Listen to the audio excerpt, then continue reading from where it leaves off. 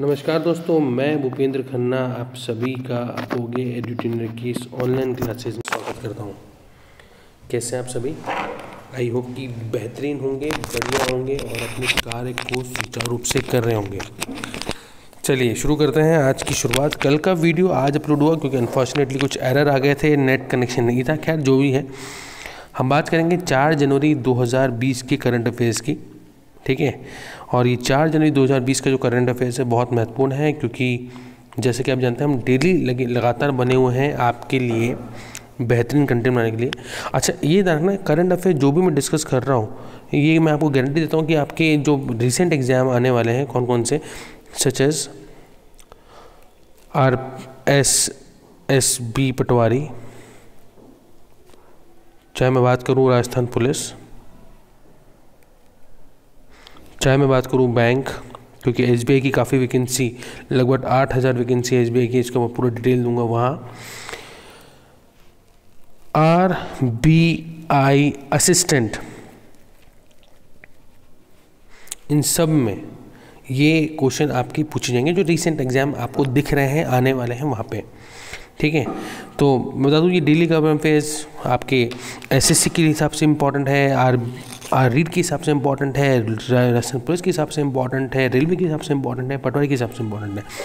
इस current affairs की PDF को आप डिस्क्रिप्शन बॉक्स में हम, मैंने एक टेलीग्राम लिंक दिया है।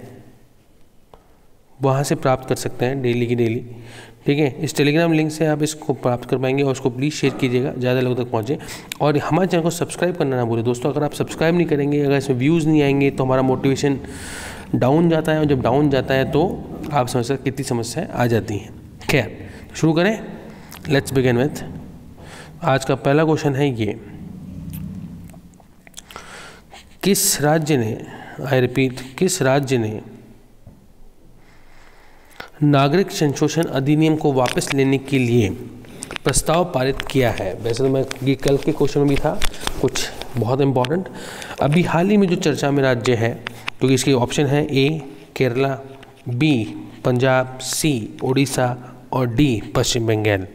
तो correct answer is what A Kerala ने अभी हाल ही में सी ए के विरुद्ध विवादास्पद जो माना जा रहा है, केरल राज्य प्रस्तावित पारित करने भारत का पहला राज्य बन गया है, जो कि विवादास्पद नागरिकता संशोधन अधिनियम को वापस लेने की मांग करता है। हालाँकि मुझे भी समझ में नहीं आ रहा कि क्यों नागरिकता संशोधन नियम के बारे में इतना बवाल हो रहा है, जबकि इसमें ऐसा कुछ भी नहीं लिखा हुआ जिसके आधार पर एक जाति विशेष के लोगों को नुकसान पहुँचता हो। खैर, केरल विधानसभा ने इकतीस दिसंबर 2019 को सीए के खिलाफ प्रस्ताव पारित किया। केरल की राजधानी की बात की जाए तो केरल की राजधानी है त्रिवनंतपुरम और इसके जो इस वर्तमान मुख्यमंत्री हैं वो पी विजयन है। तो नहीं बात है कि इसकी राजधानी आपको याद रखनी है और मुख्यमंत्री पी विजयन याद रखना है। और ये पहले राज्य हैं जिन्होंने सीएए के विरुद्ध प्रस्ताव पारित किया है। तो क्वेश्चन नंबर एक, क्वेश्चन नंबर दो। भारत ने वायु प्रदूषण को काबू पाने के उद्देश्य से इस वर्ष किन पटाखों की शुरुआत की? आई रिपीट भारत ने वायु प्रदूषण को काबू पाने के उद्देश्य से इस वर्ष किन पटाखों की शुरुआत की? ऑप्शन आर, रेड पटाखे, ब्लैक पटाखे, हरित पटाखे और श्वेत पटाखे। तो correct answer is what C हरित पटाखों की शुरुआत की गई है। नकली पटाखा निर्माताओं को पता लगाने के लिए हरित लोगों और क्यू आर प्रणाली की शुरुआत की गई है। वैज्ञानिक और औद्योगिक अनुसंधान प्रतिशत की प्रयोगशालों में पर्यावरण अनुकूल पटाखों विकसित करने का कार्य किया जा रहा है। भारत में वायु प्रदूषण को रोकने के उद्देश्य से, काबू करने के उद्देश्य से इस वर्ष हरित पटाखों की शुरुआत की गई थी। तो करेक्ट आंसर क्या है दोस्तों उसका? हरित पटाखे यानी ग्रीन फायरवर्क्स और ग्रीन कैकर्स तो ग्रीन कैकर्स आपने इस बार देखे थे और वहाँ पे जो हम बात की थी, वो इसी के बारे में चर्चा की गई थी। खैर, क्वेश्चन नंबर थ्री कहाँ से भारतीय रेलवे ने नई पैसेंजर सूचना प्रणाली की शुरुआत की है? Option are Gorakhpur railway station Anna Anakapalli railway station, Indore railway station और गुवाहाटी रेलवे स्टेशन। नई पैसेंजर सूचना प्रणाली new passenger information system is to be develop. तो correct answer is what option number B N eight. अब ये क्या है? मैं बता देता हूँ। भारतीय रेलवे ने दक्षिण मध्य रेलवे के विजयवाड़ा डिवीज़न के अन अनकापल्ली रेलवे स्टेशन पर नई पैसेंजर सूचना प्रणाली की शुरुआत की है। इसमें एक डिस्प्ले बोर्ड लगाया जाना है, जो कि ट्रेनों के समय और स्थिति की जानकारी देगा। साथ ही कोच गाइडेंस डिस्प्ले बोर्ड भी होगा, जो कि ट्रेन के कोच, उनका क्रम और इनकी स्थिति की जानकारी देगा। तो ये जो नई प्रणाली है पैसेंजर सूचना प्रणाली की इसकी शुरुआत हो चुकी है। वो कहाँ से हुई है? अनकापल्ली रेलवे स्टेशन दक्षिण भारतीय मध्य रेलवे के विजयवाड़ा डिवीज़न से। खैर नेक्स्ट है। खेलो इंडिया में लॉन बाउल्स और कौन से खेल को शामिल किया गया है? देखो, खेलो इंडिया एक बड़ी महत्वाकांक्षी स्कीम। भारत में का जो खेलों का प्रतिनिधित्व है, वो बढ़े। और बढ़ने के साथ हमारा कंपटीशन ओलंपिक और कॉमनवेल्थ में और इम्प्रूव हो, उसी के लिहाज से खेलो इंडिया की शुरुआत की गई थी। अब देखिए, इसमें बात की जाए तो ऑप्शंस है साइकिलिंग क्रिकेट हॉकी बास्केटबॉल तो कौन से लॉन बॉल्स के अलावा कौन सा खेल? तो दादू लॉन बॉल्स और इसके अलावा जो वर्तमान में शामिल किया गया है, वो है आपका साइकिलिंग यानी ऑप्शन नंबर ए तो बता देता हूँ उसके बाद थोड़ा सा। पहली बार इसका आयोजन लॉन बॉल्स और साइकिलिंग को शामिल किया जा रहा है। खेलो इंडिया का जो ये तीसरा संस्करण है, वर्तमान में जो तीसरा संस्करण है, वो जनवरी 2020 में असम के गुवाहाटी में आयोजित किया जाएगा। 2020 में असम के अंदर गुवाहाटी है, जनवरी के अंदर इसका आयोजन किया जाना है असम में, गुवाहाटी के अंदर। असम की राजधानी वो है गुवाहाटी, ये आपको याद रखना है।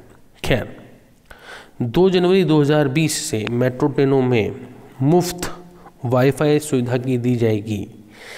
2 जनवरी दो हज़ार किस शहर की मेट्रो ट्रेनों में मुफ़्त वाईफाई सुविधा प्रदान की जाएगी या प्रदान की गई है।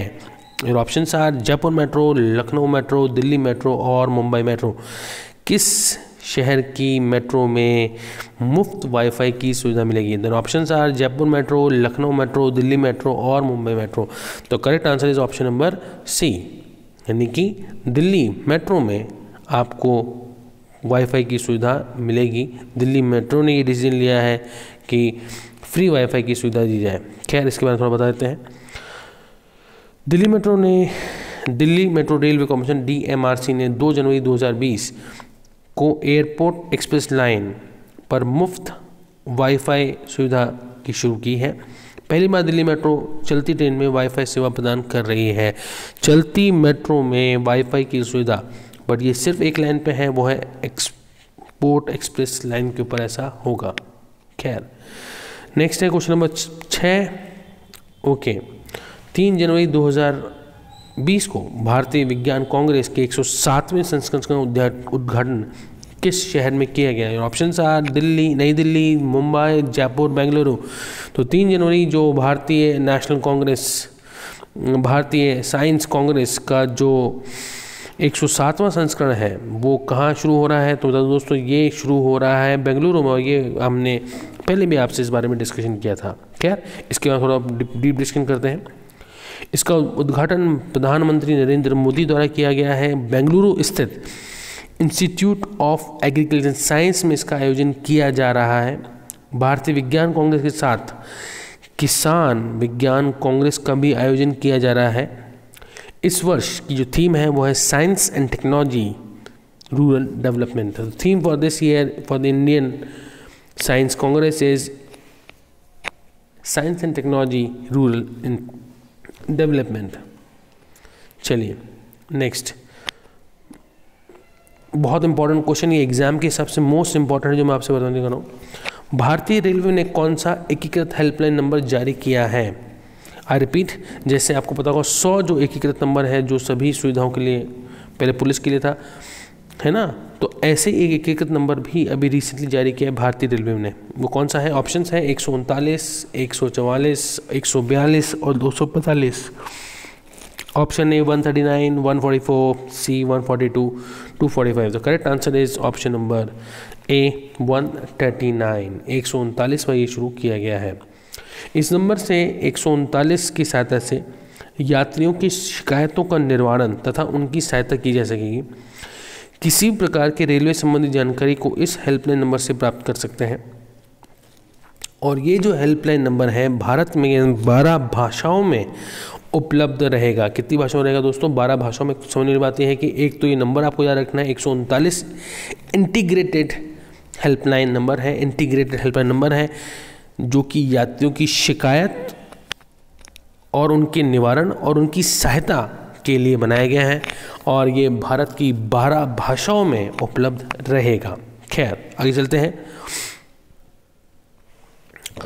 रीटॉक्सिक टॉक्सिक सनस्क्रीन पर प्रतिबंध लगाना पहला देश कौन सा बन गया है? अभी रीटॉक्स टॉक्सिक सन क्रीम पर प्रतिबंध लगाने वाला पहला देश कौन सा बन गया है? ऑप्शंस हैं ऑस्ट्रेलिया, अमेरिका, मालदीव या पलाव ऑस्ट्रेलिया, अमेरिका, मालदीव और पलाव जल्दी बताएँ रीक टॉक्सिक एक सनस्क्रीन लोशन होता है, जो कि वर्तमान में प्रतिबंधित किया गया है एक विशेष देश द्वारा, वो कौन सा है? तो करेक्ट आंसर है ऑप्शन नंबर डी यानी पलाव ने सबसे पहले रिक टॉक्सिक्स पे प्रतिबंध लगाया। है रिक टॉक्सिक है क्या, बताता हूँ। देखो, ये बहुत बहुत बहुत इंपॉर्टेंट है जो मैं आपसे चर्चा करने वाला हूँ। प्रशांत महासागरीय देश पलाव ने सनस्क्रीन इस्तेमाल पर प्रतिबंध लगाने पहला देश बन गया है, जो कोरल द्वीप और समुद्री जीवों के लिए जहर के समान है। क्यों है? क्योंकि जब आप सनस्क्रीन लोशन लगाते हो, उसके बाद आप डाइविंग में जाते हो या फिर गोताखोरी करते हो या फिर स्विमिंग करते हो तो वो जो टॉक्सिक है, जो सनस्क्रीन है, वो समुद्री जीवों और कोरल द्वीप के लिए नुकसानदायक था। पलाव के रॉक आइसलैंड पर का लेगून यूनेस्को विश्व स्थल में शामिल है।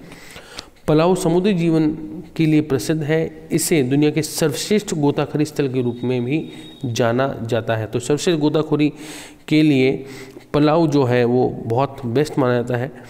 ये चीज़ आप ध्यान रखें। तो क्वेश्चन नंबर नेक्स्ट दो जनवरी 2020 को प्रधानमंत्री नरेंद्र मोदी ने किस राज्य को कृषि कर्मण पुरस्कार दिया? ऑप्शन चार Uttarakhand, option B Punjab, option C Haryana, option D Rajasthan. तो 2 जनवरी 2020 को जो अवार्ड मिला है, वो मिला है उत्तराखंड को। अब क्यों मिला है, उसकी पूरी चर्चा कर लेते हैं। प्रधानमंत्री नरेंद्र मोदी ने 2 जनवरी 2020 को टुमकुरे नगर नाटक में सार्वजनिक बैठक में राज्यों के कृषि कर्मण पुरस्कार और प्रशस्ति पुरस्कार वितरित किए। उत्तराखंड के कृषि कर्म पुरस्कार मुख्यमंत्री त्रिवेंद्र सिंह रावत एक चीज़ दो चीज़ें हमें इंटरेस्टिंग है यहाँ पे। उत्तराखंड के मुख्यमंत्री कौन है? त्रिवेंद्र सिंह रावत। और कृषि मंत्री हैं सुबोध उनियाल को सौंपा। उत्तराखंड को वर्ष 2017-18 के लिए खाद्यान्न उत्पादन श्रेणी दो के लिए उक्त पुरस्कार दिया गया।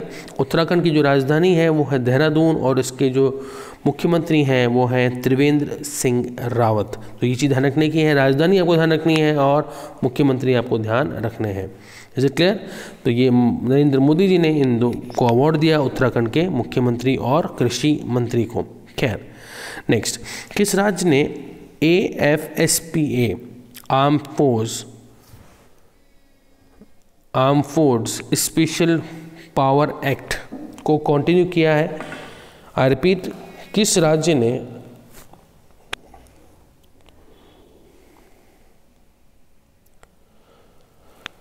किस राज्य ने ए एफ़ एस पी छः महीने के लिए बढ़ा दिया है? ऑप्शन है असम, नागालैंड, मणिपुर, मेघालय। असम नागालैंड नागालैंड, मणिपुर, मेघालय। तो मैं बताता हूँ, दोस्तों, इसका आंसर है बी, नागालैंड में इसको शुरू किया गया है। सशस्त्र बल विशेषाधिकरण कानून अफसा को तत्काल प्रभाव से छः महीने के लिए बढ़ा दिया है। तीस जून दो हज़ार तक की अवधि तक ये अशांत क्षेत्र इसको घोषित कर दिया गया है। और सशस्त्र बल विशेष कानून के तहत सुरक्षा बल कहीं भी कार्रवाई बिना किसी नोटिस के किसी को गिरफ़्तार कर सकते हैं। और नागालैंड की जो राजधानी है, वो है कोहिमा और इसके मुख्यमंत्री हैं नेफ्यू रियो। ये चीज़ हम रखने, मुख्यमंत्री हैं इसके नेफ्यू रियो और इसकी राजधानी है Kohima. Is it clear so thank you so much देखिए, ये सभी जो करंट अफेयर्स की जो बात कर रहा हूँ, ये बहुत महत्वपूर्ण है सभी बड़े एग्ज़ाम्स के हिसाब से। आप लगातार बने रहें, अपोगे एड्यूटेनर के ऊपर, जहाँ पे आपको इसकी पीडीएफ, देखो, पीडीएफ कहाँ अवेलेबल होगी? हम एक तो हमारी वेबसाइट पे W W W dot apogee edutainer dot I N के ऊपर, तथा यहाँ पे आप हमारा टेलीग्राम को भी सर्च कर सकते हैं। मैं से डिस्क्रिप्शन बॉक्स में टेलीग्राम लिंक दे दूँगा। वहाँ से जाके आप इसको फ्री डाउनलोड भी कर सकते हैं। कोई इसके चार्जेस नहीं है। आप फ्री डाउनलोड करें और अपने जो सुझाव है हमें ज़रूर दें, क्योंकि जब तक आप सुझाव नहीं देंगे तो हमें पता नहीं चलेगा। एक इंपॉर्टेंट सुझाव मैं आपसे मांगूँगा थोड़े दिनों में बट आई होप कि आपको जो हम समझाना चाहते हैं, जो हमने करंट आपके लिए बनाई है, वो आपके लिए बहुत बहुत बहुत महत्वपूर्ण रहेगी। एंड प्लीज़ इस वीडियो को ज़्यादा से लोगों तक पहुँचाएँ। लाइक करें सब्सक्राइब करें और शेयर भी करें। सब्सक्राइब करें और शेयर भी करें। ठीक है? थैंक यू सो मच लगातार बने रहें। अपोगे एडमिट पर धन्यवाद।